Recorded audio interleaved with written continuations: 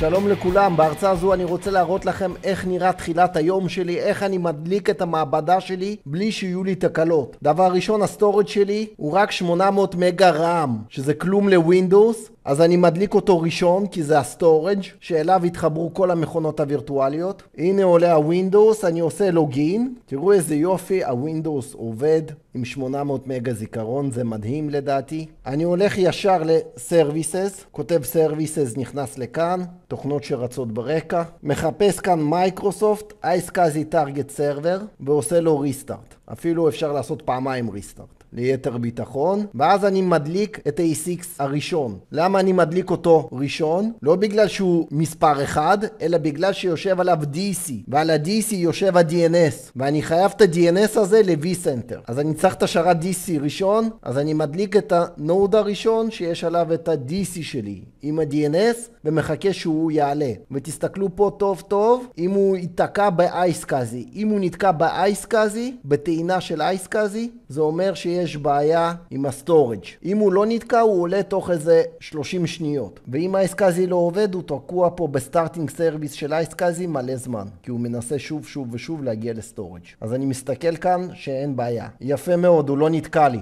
מצוין. עכשיו אני מדליק את השני ואת השלישי. ועכשיו אני הולך ל-IP של ESX הראשון, נכנס עם root, שימו לב, זאת כניסה לתוך ה-ESXi ישירות עם root לתוך הברזל שלו, ואני בודק כאן בנביגיישן שב-Virtual Machines ה-DC התחיל לעבוד לי, ואני רואה את המסך שלו שהוא עלה, מצוין. עכשיו אני עובר ל-E6i השני, 11, ובודק שה-V-Center עלה, ואני רואה שה-V-Center נדלק, תראו, זה המסך פתיחה שלו. הוא מבוסס על מערכת הפעלה של לינוקס פוטון. עושים רפרש פה, אפשר לראות ממש איך הוא עולה. אוטו סטארט עבד מצוין. עכשיו נשאר לי לחכות ולעקוב אחרי הממורי שלו. תראו, רק 64 מגה, אפילו לא ג'יגה. אני עושה פה רפרש, אל תתבלבלו עם ריסט. אני עושה רפרש, 750 מגה. עד שהוא לא יגיע לאיזה 12 ג'יגה רם, אין לי מה להתחיל אה, לנסות להתחבר אליו. אם אתם תנסו עכשיו להתחבר אליו, לפני שהוא עלה, אני כבר הראיתי לכם שהוא יוצר תקלות. הוא לא עונה אפילו, כי התוכנה...